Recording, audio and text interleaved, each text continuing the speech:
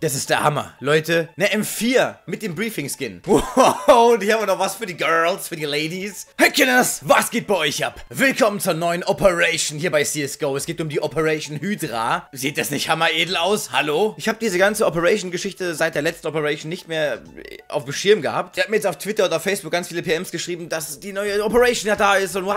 Und ich dachte mir so für den Anfang, schaue ich mir einfach mal jeden Skin an, den es eben in dieser neuen Operation gibt. Also in der neuen Kiste. Ihr könnt gerne dabei sein. Als erstes haben wir da die USPS Blueprint. Die sieht schon wirklich geil aus, oder? Dieses Netz hier sieht aus wie so Zeichenpapier. So Millimeterpapier, weißt Wer schon mal irgendwie in technischen Berufen, keine Ahnung, oder im Labor was zeichnen musste, Graphen oder so, da, dieses Papier kennt man dann. Die finde ich jetzt viel, viel schicker wie diese andere blaue USPS. Night? Heißt die Night?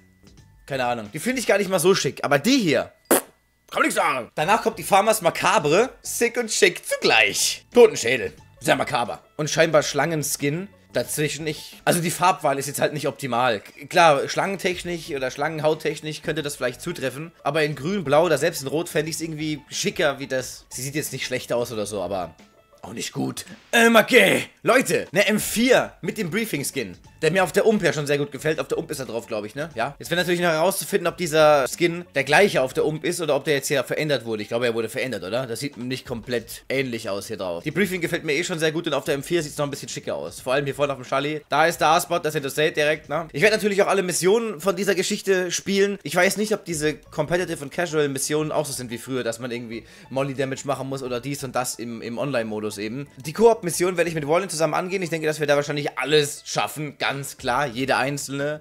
Direkt im ersten Versuch, logisch. Wenn ich mich recht zurückerinnere, waren diese Koop-Missionen auch das, was ich am liebsten gemacht habe bei den letzten Missionen. Die fand ich einfach Hammer. Egal, weiter geht's. Guck mal da, die 10 Aloha. Aloe Vera. Irgendwie etwas schwach. Die ist FN, aber sie sieht irgendwie schwach aus. Sie sieht schon stark verblichen aus. Als wenn man auf Hawaii wäre und so ein ganz altes Haus findet, das mal so bemalt war, aber schon seit 30.000 Jahren leer steht und die Farbe schon so abblättert, die Sonne einfach schon die, die Farbe zerstört hat. Trotzdem ein schöner Skin. In der Case gibt es auch eine Max 7 und zwar die Hard Water. Die ist schon hart. Guckt euch mal dieses Türkis hier an oder was es ist. Das sieht geil aus. Warum ist die ganze Waffe nicht einfach so, wie sie, wie die, gibt's die, ah, so eine gibt's schon, diese, sogar eine Max 7, glaube ich, die fast nur diese Farbe hat. Ja, okay. Ja, das hier drin ist jetzt nicht so besonders. Also eigentlich gar nicht besonders. Das hier gefällt mir überhaupt nicht. So ein bisschen wie dieses Scuba Diver ähm, 5.7, glaube ich. Ist es? Eine 5.7? Nee, doch. Naja, weiter, weiter. Die Check 9 Catout kommt als nächstes in der Kiste. Schwierig. Cooles Muster. Sehr, sehr cooles Muster sogar. Auch, dass es nachher vorne ausfadet oder eben dunkler wird. Aber warum ist hier unten nichts drauf? Das macht es echt nicht besser. Schönes Muster, schöne Farbwahl, aber das muss hier unten auch drauf sein. Sonst kann ich das Ding vergessen. Der nächste Platz in der Kiste ist die um 45 Metal Flowers. Schwierig zu erkennen, beziehungsweise wenn man weiß, dass es eben metallische Blumen sein sollen, oder Blumenköpfe, dann erkennt man da schon diverse Rosenköpfe oder sowas. Ach, guck mal hier. Hier sind noch Totenköpfe drauf, warte mal! Oh mein Gott. Die sind schon cool aus, die Totenköpfe, kann man nicht sagen. Aber so an sich ist es schwer zu erkennen. Das ist irgendwie...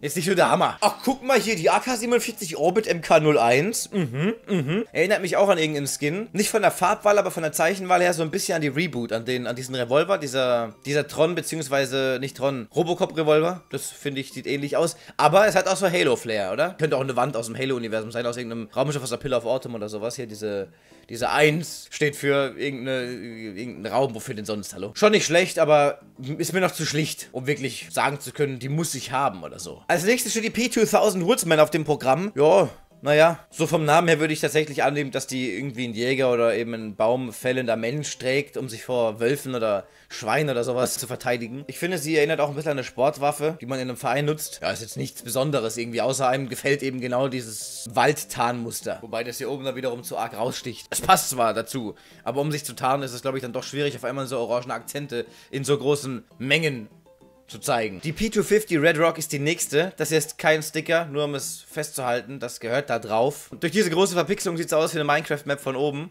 So mit Wüste und Lehmflächen. Irgendwie sieht sie besonders aus, aber auch nicht so besonders, oder? Das ist jetzt nicht total abgefahren. Ich würde sagen, auf der Notenskala so eine 3 plus. Oh, wow, wow, wow, wow, Leute. Als nächstes haben wir eine P90 am Stissel und zwar Death Grip. Wow, die sieht wirklich interessant aus, oder? Diese Todesgriff-Hände. Egal wie du deine Hand machst, du musst sie nur formen wie eine dieser Hände und schon kannst du den Todesgriff machen, so Vulkanier-mäßig. Zack. Oh, guck mal hier. Sehr schöne P90. Dann haben wir hier noch das Scout im Angebot, die Death's Head. Ich, ich erkenne, ich weiß nicht, was, was ist, was sieht man da? Ist es so ein Ding, das man nur aus einem gewissen Winkel erkennt?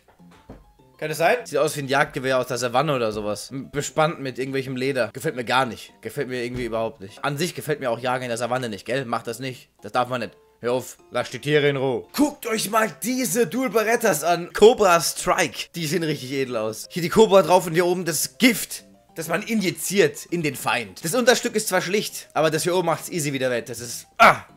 Hammer. Wow, und hier haben wir noch was für die Girls, für die Ladies. Die Galil AR Sugar Rush. Die Sugar Rush. Zucker, Zucker. Guck mal hier. Ach Gott, ach Gott, ach. Und hier ist noch ein Karnickel drauf. Die Mädels werden gerade richtig, richtig so unrum, also im Bauch so, no, ist das süß. Oder wo fühlen Frauen diese Süßigkeit, wenn sie so süße Tiere sehen? Eher hier. So ungefähr. Ich glaube, hier fühlen Frauen das. Hier. Bei Frauen ist da kein Adamsapfel, sondern eben das Organ, um Süßigkeiten zu erfüllen. Aber nicht um essbare Süßigkeiten zu erfüllen, sondern eben um die Süßigkeit in Tieren zu entdecken. Oder in Dingen. Cooler Skin. Also gefällt mir auch. Also so ein bisschen. Ne? Ich mag natürlich lieber Frauen und Tod und sowas. Leute, Leute. Die M4A4 Hellfire. Guckt euch mal dieses Teil an. Look at this, Harold. Fucking delicious. Steht hier noch was? Weed? Smoke weed every day? Ah ja. Ja, natürlich. Was steht denn hier? Ich kann es nicht erkennen. Hier diese Comic gezeichneten Totenköpfchen. Dieser kleine fette Teufel. Und hier vorne, guck mal da. Extrem cooler Skin. Oh mein Gott! Eine 5-7 Hyper Beast. Leck mich am Ärmel. Ich bin gerade so ein bisschen am Hyperventilieren. Was für ein geiles Teil. Guckt euch an. Die Zunge ist der Trigger. Das ist der Hammer. Leute, dieses Ding! Insta-Track. Und die Hyper Beast Collection geht ab, Alter. Guck mal, hier vorne ist sogar so ein Messer mit Blut, orange, purple, blau, blau, äh, rosa, rosa, Blut dran. Ich rast gerade total aus, Kinders. Mein Haar fliege mir schon ins Gesicht. Krass. Ich glaube, ich brauche nicht zu sagen, dass das mein absoluter Lieblingsskin in dieser Kiste sein wird oder ist. Hammer! Und zu guter Letzt haben wir noch eine AWP Onitaiji in dieser Kiste drin. Nice. Schon nice. Wer auf solche Kunst steht, für den ist es sicherlich ultra nice. Ich finde es jetzt nicht so extrem bombig. Die Waffe hat auch viel Purple drin. Schön. Hier unten ist wieder irgend so eine Teufelsgeschichte. Hier oben steht irgendwas drauf. Du bist der Coolste. Oh, danke schön. In dieser Hydra-Kiste gibt es als Rare Special Item auch Gloves, aber die konnte ich bis jetzt noch nicht finden. Da müssen wir eben abwarten, bis da weitere Infos raus sind. Ich freue mich schon echt extrem, jetzt hier die Sache anzuspielen. Vielleicht kommen heute sogar zwei Videos. Ich weiß es noch nicht, je nachdem, wann dieses Video kommt. Wenn dieses Video sehr früh kommt, könnt ihr euch wahrscheinlich darauf gefasst machen, dass heute direkt noch ein Video zu dieser Hydra-Sache kommt. Und zwar eben ein Casual oder Competitive Match auf diesen neuen Maps. Falls euch das Video gefallen hat, dann lasst es mich irgendwie wissen. Ich streame jeden Dienstag und jeden Donnerstag ab 19.30 Uhr. Im Moment gibt es gerade einen Knife-Giveaway in meinen Livestreams. Also seid am Stissel. Vielen Dank fürs Zusehen. Macht's gut. Bis zum nächsten Mal. Ciao. Thailand. Uh, fucking sick, dude.